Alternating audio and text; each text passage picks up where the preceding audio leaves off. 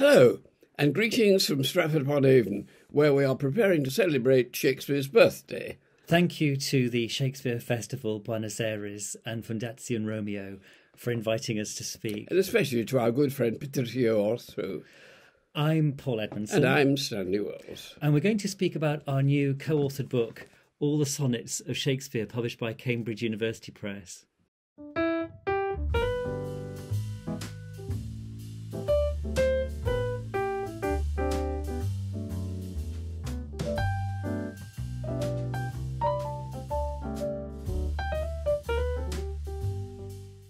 First of all, why have we called it all the sonnets of Shakespeare? Well, because unlike the very many other existing editions of Shakespeare's sonnets, it includes not just the sonnets that were printed in 1609, but also Shakespeare's other sonnets, that is to say, passages in sonnet form from his plays. There are, of course, many editions of Shakespeare's sonnets, but ours is entirely different and distinctive. By our count, there are now 182 sonnets by Shakespeare, 154 from the 1609 collection, 23 from the plays, and five others three from the Passionate Pilgrim of 1599, and two alternative versions of 1609 sonnets. And we break new ground by putting them into chronological order. So, over the next 30 minutes or so, we want to talk about where the idea came from, about the decisions we had to make about presenting the sonnets, and also about the way that our book affects the ways we might think about Shakespeare's art and about his life. So, where did the idea come from? Well, we'd already written a book back in 2004 in which we counter some of the myths about the sonnets, including the assumption that the first 126 sonnets are addressed to a fair youth or a young man, and that the remainder are addressed to a so called dark lady. We've also produced several articles about the sonnets since then. Yeah, we've continued to challenge the myths about the sonnets over about 20 years. But still, we hear speakers refer to the so called protagonists of the sonnets as if the sonnets represented a coherent sequence which is addressed to only two individuals. We found ourselves often challenging the term sequence, the term the first 126 sonnets, the term the Dark Lady sonnets. In classes, we hear students and teachers say things along the lines of, This is one of the sonnets addressed to the fair youth. So, how we thought about all the sonnets of Shakespeare arises from our long held position of simply of disagreement with the traditional way of reading the sonnets. About three years ago, we were co leading a class at the Shakespeare Institute, the University of Birmingham, for their MA in Shakespeare and Creativity. I was speaking about writing sonnets, and Stanley was speaking about approaches to the sonnets, especially in relation to Shakespeare's life. This was when we first started to think about our new book. I recall looking up from my notes on that day and saying, Stanley, wouldn't it be a good idea to arrange the 1609 sonnets in chronological order and intersperse the sonnets from the plays among them? That's never been done before. So, one of the points we've been interested in reiterating is that the order in which the sonnets were first printed in 1609 is not the order in which Shakespeare wrote them. For this, we have to thank the New Zealand scholar MacDonald P. Jackson, who has published a number of articles about the chronology of the sonnets over many years. His work shows that Shakespeare was writing the poems included in the 69 sonnets over a much longer period of time than most readers have tended to assume, that he was writing indeed over about 27 years. The collection, and we insist on calling it a collection, not a sequence, is not a narrative, it's not a story. It's a gathering together of varied poems, a gathering together that shows intermittent ordering and sequencing within itself, but not as a whole. And then there are the sonnets which help to signal the structure and dialogue or monologues of several plays, including, of course, prologues and epilogues. So, what were the decisions we had to make about presenting the sonnets? Stanley had already edited the 1609 sonnets for the Oxford edition, and we were given permission to use that. We modified the edition a bit by, for example, removing the capitalization of abstract nouns such as time, partly because of the difficulty of knowing whether they're always intended to be personifications. We looked carefully at Mac Jackson's dating of the sonnets. On page 24 of our new book, we list Jackson's chronological division of the poems. Now, without reading that out, its salient features are that the earliest written sonnets are among the latest printed in 1609, sonnets 127 to 154, and that the latest composed fall between sonnets 104 and 126. So, what that means, of course, is that the 1609 collection doesn't at all represent the order in which Shakespeare wrote his sonnets. Now, there are three early cases which we present in our book. Yeah, the first two sonnets in our chronological reordering are, in fact, the last two printed in the 1609 collection, where they're numbered 153 and 154. Why have we reordered these? Well, because uh, the 154 is the earlier of the two. Uh, clearly, um, he, it, the 153 then revises that one, and we believe them to be schoolboy exercises uh, written perhaps at the behest of his schoolmaster, who might well have told him that uh, he needed to revise uh, the, his first shot at them. Uh, they're, both tra- they're both translations. They're both translations yeah. from a, a, a, a, Latin epigram, yes. This has been recognized for a long time, of course, uh, and we believe that he may have revised them later. After those two sonnets, we then print sonnet 145 now, in 1971, yes, as recently as that, the Shakespeare scholar Andrew Gurr suggested that 145 might be Shakespeare's earliest poem. Well, we think there might be the schoolboy exercises instead. But 145 is a wooing sonnet. It stands apart from the collection because it's an iambic tetrameter, not pentameter. And there's a really interesting play on words in the couplet. Um, the word, the words hate away I, uh, appear, which was an alternative pronunciation of Hathaway, the maiden name of the woman whom Shakespeare married, Anne Hathaway. I hate from hate away she threw, and save my life, saying not you. So it could be a premarital or just postmarital uh, poem on Shakespeare's part, written when he was only 18. Stanley did the hard work of going through the complete works three times, looking for potential sonnet moments within the plays. Nobody seems to have done this before, except when referring to the most obviously embedded sonnets. For example, the first meeting of Romeo and Juliet, when they fall in love at first sight and share the speaking of a sonnet at the same time. In our earlier book, we included a whole chapter on the 1609 sonnets in relation to the plays and about some of the sonnets in the plays. So, how did we choose the passages from the plays? Well, some of them are perfectly straightforward. Prologues, such as the prologue to uh, Romeo and Juliet and the prologue to the first act of Romeo and Juliet. Epilogues, such as the epilogue to Henry V. Uh, in Love's Labour's Lost, there actually Shakespeare portrays people writing sonnets, which they declare to be sonnets. Uh, but one of them, called a sonnet, is not what we would in fact recognize as a formal sonnet. The term was rather flexible. Also, one of the 1609 sonnets, when we're thinking about, as it were, non formal sonnets and the flexibility of the term, one of them has 15 lines, Sonnet 99.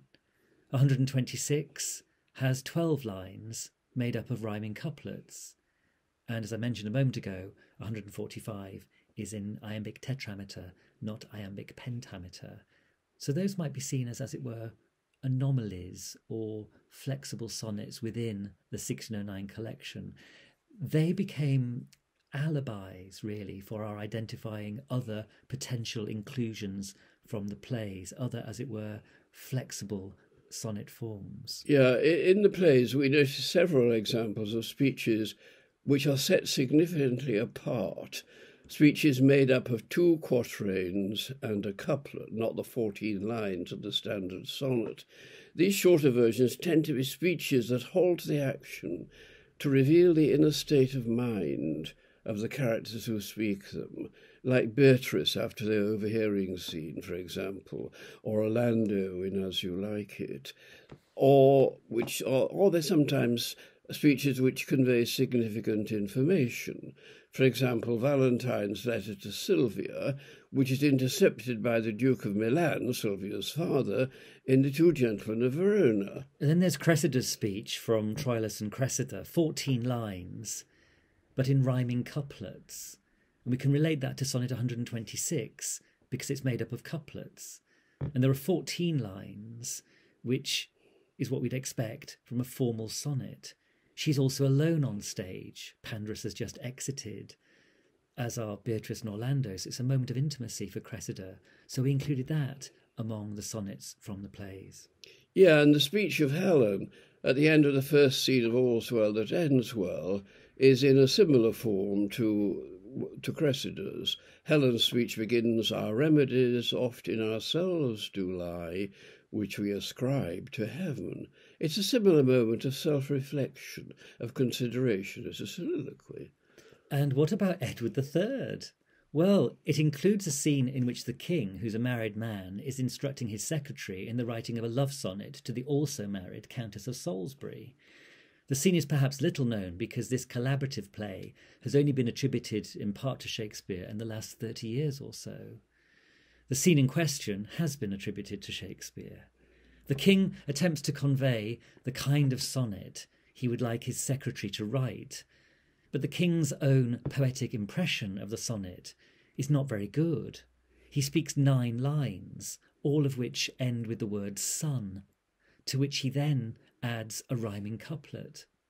We never actually hear the sonnet the secretary has been trying to write, but in the meantime, Shakespeare has given the king an 11 lined sonnet to speak. Let's turn to the presentation and the design elements of our book. We think it's beautifully designed. Cambridge University Press have done a lovely job on it. We think it's a handsome hardback.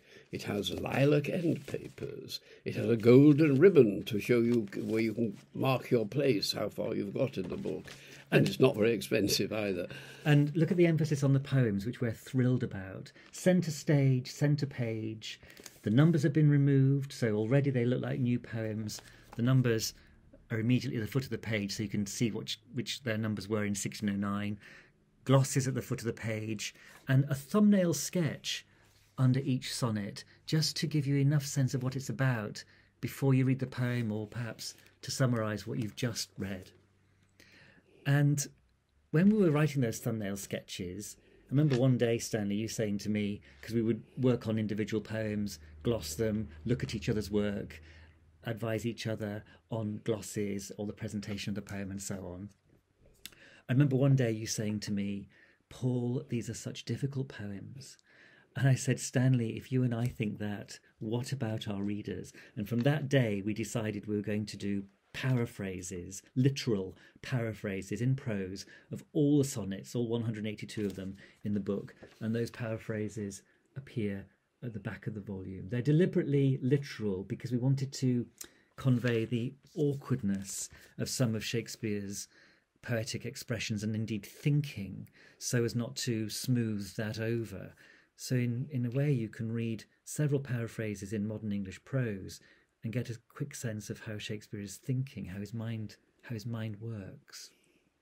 We've included indexes to the 1609 numbering so they can easily be retrieved from within our um, uh, chronological reordering. And we also signal 32 of the sonnets as what we call dramatic analogies, just when they've reminded us about moments in the play, or we perhaps imagine them as characters speaking. So, for example, Sonnet 138, where my love swears that she is made of truth, I do believe her, though I know she lies, might be, we imagine, Antony speaking to Cleopatra. So just a sort of dramatic suggestiveness uh, as it's as it's occurred to us. We've we've marked that in in our book. Now, what are some of the effects of what we've done? Well, I think that by abandoning the order in which the 69 volume printed the sonnets, we've presented the, these sonnets as fresh poems, poems which deserve to be looked at anew in, with, an, uh, with a new eye. Now, we've done that in part, and perhaps mainly, by we hope, or we know, we've removed the traditional story that I mentioned earlier, and instead, by doing that, by showing that the sonnets don't, well, they never did tell a story in the first place, but the, they, they now definitely don't, as it were, um, by by doing that, we've emphasized their independence as a collection, as opposed to the sonnet sequences of the 1590s, which are addressed to individuals and are more unified. So we put great emphasis on the variety of Shakespeare's sonnets. For example, two of them are letters in which he's addressing an individual. Sadly, we can't identify the individual. Those are those are sonnets 26 and 77. One of them is a religious meditation, Shakespeare's only explicitly religious poem. And as we've said, two of them are translations. Only 121 of the 154 sonnets are, are addressed to individuals, and 84 of those 121 could be addressed to either a male or a female.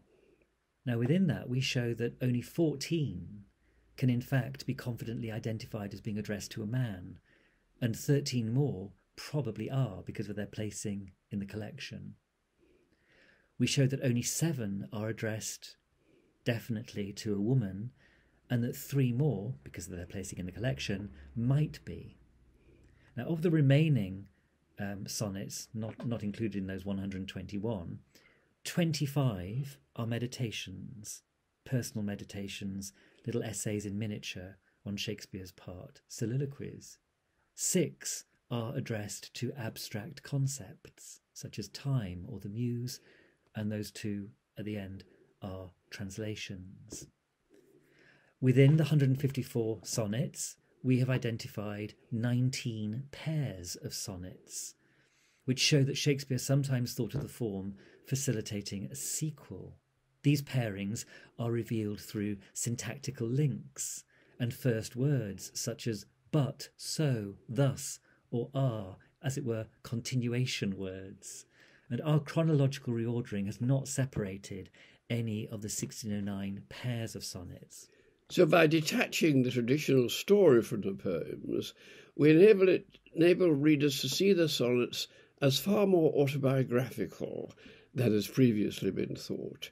Many of the sonnets are very personal poems, which we believe Shakespeare didn't actually want to be published. They're internal meditations, poems sometimes of anguished self analysis, which show the difficulty of the situation, of the amorous situation in which the poet finds himself. Sometimes he writes about his own necessary death, sometimes he meditates on, the, on time. Many of the sonnets seem to be revealing a very fragile relationships with other individuals. As we were looking at the sonnets, and we didn't set out to, to show this, we, we really discovered a bisexuality present among them. Now, one of the sonnets is very clearly about a bisexual relationship. That's sonnet 144. Two loves I have of comfort and despair, which like two spirits do suggest me still. The better angel is a man right fair, the worser spirit a woman coloured ill. Now, what's happened, of course, is the traditional story has taken those two um, subjects mentioned in that sonnet and applied them to the rest of the collection, which is a very blunt thing to be doing. Let's look at two other love triangles within the collection, which might be eh, both about different people in Shakespeare's life. They don't have to be about the same people mentioned in Sonnet 144. Why? Because they're written at different times. So the, the first love triangle occurs um, among sonnets 40 to 42, and then there's one amongst between sonnets, a pair of sonnets 133 and 134. Now we're going to just look at sonnet 134 to say this one of the most it's an example of one of Shakespeare's difficult sonnets, and many of these poems are difficult. Yes, we don't disguise that. So we're going to we're going to read. I'm going to read the thumbnail sketch. Um, it's one of a pair of sonnets. It both could be addressed to either a male or female, and they're about a love triangle, which allows for the possibility that that love triangle might be about three men. So here's our thumbnail sketch. You will go to any lengths to keep my friend and me in your power. I have lost him to your thrall and remain in your debt. So here's the whole sonnet. So now I have confessed that he is thine, and I myself am mortgaged to thy will, myself I'll forfeit, so that other mine thou wilt restore to be my comfort still. But thou wilt not, nor he will not be free, for thou art covetous, and he is kind. He learned but surety like to write for me under that bond that him as fast doth bind. The statute of thy beauty thou wilt take, thou usurer, that put'st forth all to use, and sue a friend came debtor for my sake. So him I lose through my unkind abuse. Him have I lost Thou hast both him and me. He pays the whole, and yet am I not free. And here's our paraphrase of that sonnet. I have now admitted that my friend is yours, and that I am legally bound to obey you. I'm willing to give myself up entirely to your power if it means I can remain close to my other self, whom you have taken but you will not give him back, nor does he wish to be free of you. You covet him, and he is good natured. He has learned to stand as security for me within the thrall of your beauty. You will take in full the amount I owe you, investing everything with interest and thereby suing my friend, who's placed himself into your debt because of me. Thus I lose, and have lost him through your unkind treatment of me.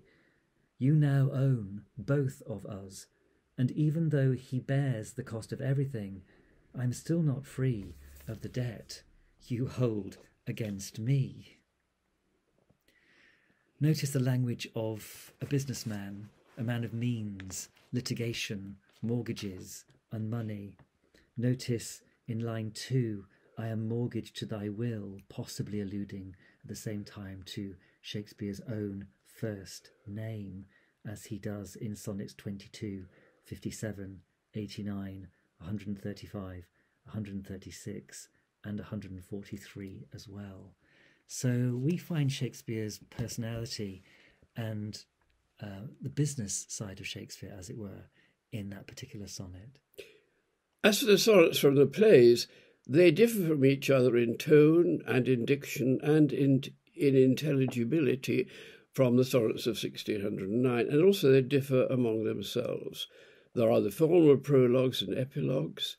There are the more informal, intensely personal passages that we've already mentioned, Beatrice, Orlando, Cressida, for example. And we've come to dispute the often expressed view that the sonnets printed in 1609 are, as it were, trial runs for speeches in the plays, we think this is a way of evading the connections that the sonnets have to Shakespeare's own personal life. In turning over the traditional approach to, to the sonnets and showing the sonnets to be far more expressive of Shakespeare's inner life, we hope our new book plays its part in the rewriting of Shakespearean biography and that it changes the way we think about Shakespeare the man. In short, we hope that in this book we've changed the conversation about Shakespeare's sonnets forever. Thank you all for listening. Bye from Stratford upon Avon. All the best.